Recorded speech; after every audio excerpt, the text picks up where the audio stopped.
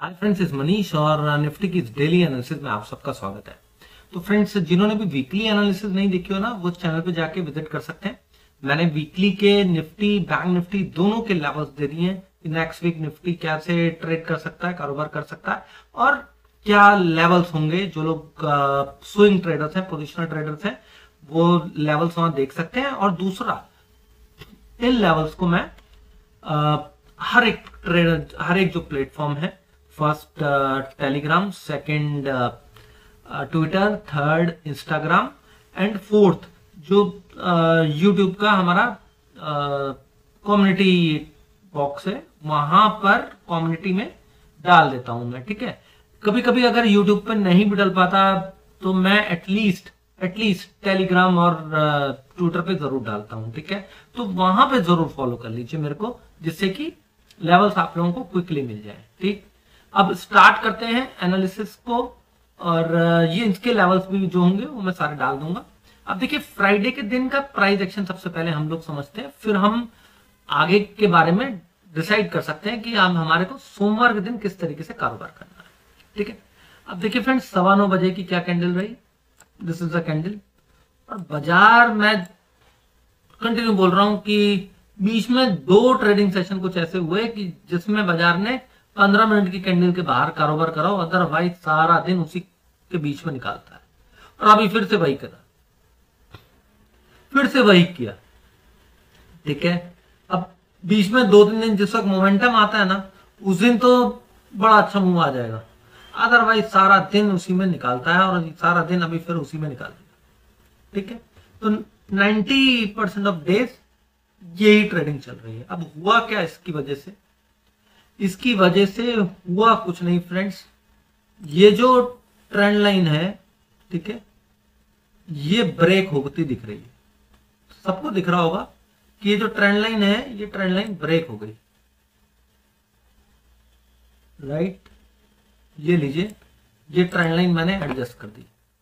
थोड़ा सा और एडजस्टमेंट कर देते हैं इसको. दिस दिस इज़ एडजस्टमेंट ठीक है? क्यों किया एडजस्टमेंट आपके सामने किया। इसीलिए किया एडजस्टमेंट फ्रेंड्स क्योंकि बाज़ार ने नीचे जाने के बाद बाउंस दिया। ठीक है? बाउंस देने के बाद जो ट्रेंड लाइन है, ये दोबारा से, वो जो पुरानी वाली ट्रेंड लाइन थी, आप दोबारा देख लीजिए, वो इनवैलिड हो गई। ठीक है? कुछ लोग बोल रहे होंगे कि ये ट्रेंड लाइन जो है, वो वैलिड है। ठीक? राइट कुछ लोगों की नज़र में ट्रेंड लाइन वैलिड है जी, ये नीचे गया, फिर ऊपर आया, और अब ये फाइनली ब्रेक हो गया। अब इसमें मैं आप लोगों को एक चीज़ सिखाना चाहता हूँ फ्रेंड्स देखिए ट्रेंड लाइन एडजस्ट किस सिचुएशन में होती है, उस सिचुएशन में जहाँ पे पूरी कैंडल क्लोज करे। विक्स को उसके अंदर, जो विक बनती है, उसके अंदर काउंट नहीं किया जाता। ठीक है? तो ये जो ट्रेंड लाइन है फ्रेंड्स ये trend line is the valid trend line जिसको पहले एक बार ब्रेक करने की कोशिश करी गई, फिर दूसरी बार ब्रेक करने की कोशिश करी गई, अब थर्ड टाइम फाइनली इसको ब्रेक कर दिया। ब्रेक करके यहाँ पे क्या हुआ?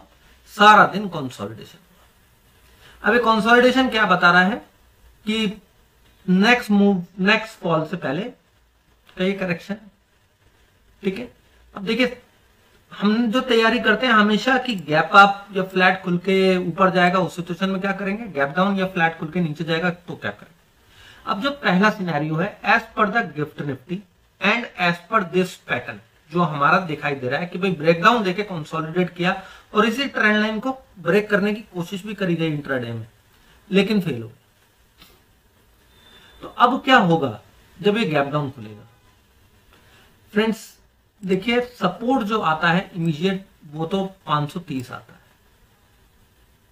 उसके नीचे अगर बाज़ार चलता है फ्लैट खुल के 530 को ब्रेक कर देता है तो फिर 480 का टारगेट आएगा।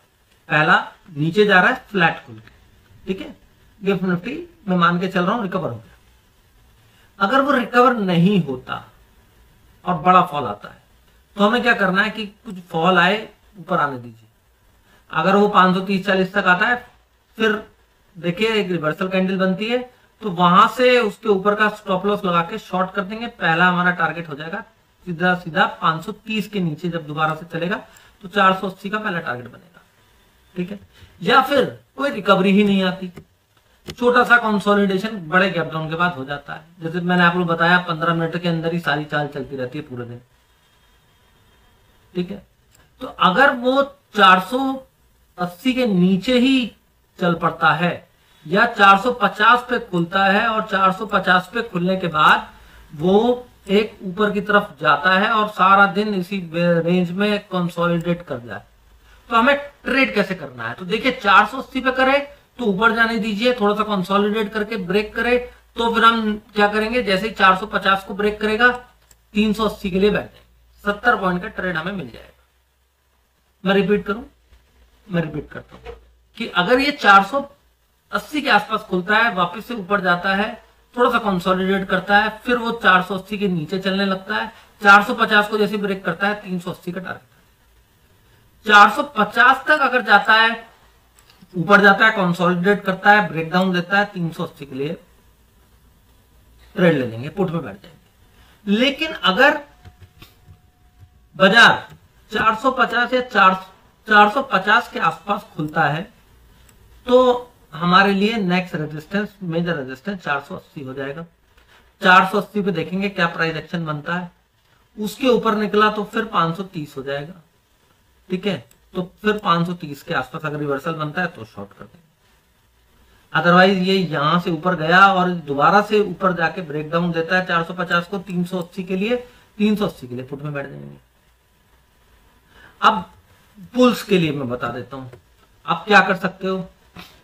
अगर 430 के आसपास खुल 450 के आसपास खुल गया, वहीं सपोर्ट बना लिया। बेस बना के ऊपर निकल रहा है तो 480 के लिए तो आप ट्रेड नहीं लोगे फ्रेंड्स 30 पॉइंट के लिए। 450 से 480 के लिए ट्रेड लोगे नहीं, क्योंकि ये तो ब्रेक डाउन हो गया। ब्रेक डाउन क्या हुआ? लेवल भी देखो, यहाँ ब्रेक यहाँ ब्रेक यहाँ पे सपोर्ट तीन जगह सपोर्ट लिया है। तो ये तो मेजर रेजिस्टेंस हो गया। ठीक है? इससे भी हल्का सा ऊपर जाके हो सकता है नीचे घूम जाए। क्या कर लोगे?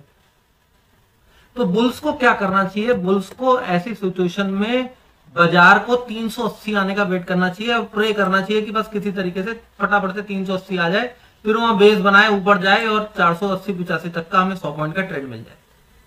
बुल ये कर सकता है, क्योंकि इतना बड़ा फॉल जब डायरेक्ट आएगा तो थोड़ा सा प्रॉफिट बुकिंग आएगी तो 480 तक जा सकता है, लेकिन वो बेस बना के ऊपर निकले तब। ठीक है। दूसरा बुल्स के लिए क्या है कि फ्लैट खुल के ऊपर का एक रेजिस्टेंस है 580 40 पॉइंट ऊपर जो आज के समय में क्लोजिंग है। 580 तक का ये रेजिस्टेंस है। इसको जैसे ही वो क्रॉस कर ले, फ्लैट खुल के या गैप अप दे के तो गैप अप दे तो थोड़ा सा नीचे आने दीजिए बेस बना के ऊपर निकले तो फिर टारगेट क्या बन जाएगा? 640 फिर उन्नीस, छह सौ पचास से उन्नीस, छह सौ अस्सी ट्रेड ही नहीं करना है। एक बार 680 के ऊपर बैठ गया तो फिर 720 तक के लिए इंट्राडे में 40 पॉइंट मिल जाएगा। वैसे तो फिर 800 के भी टारगेट ओपन हो जाएँगे, लेकिन वो सेम डे आना मुश्किल हो जाएगा। ठीक है? राइट तो ऊपर के लिए क्या करना है, वो मैंने आपको बता दिया। लास्ट में फटाफट इसलिए बताया, क्योंकि ऊपर की प्रोबेबिलिटी कम है। गैप डाउन की ज़्यादा लग रही है। तो गैप डाउन में भी मैंने आप लोगों को दोनों सिनेरियो बता दिए 480 पर होगा।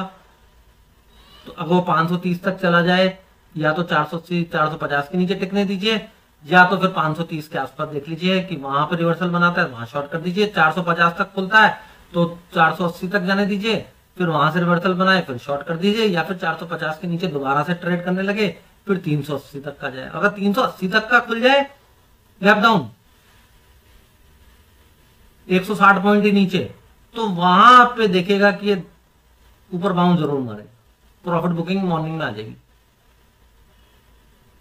तो वहाँ पे भी आप कॉल ट्राई कर सकते हैं।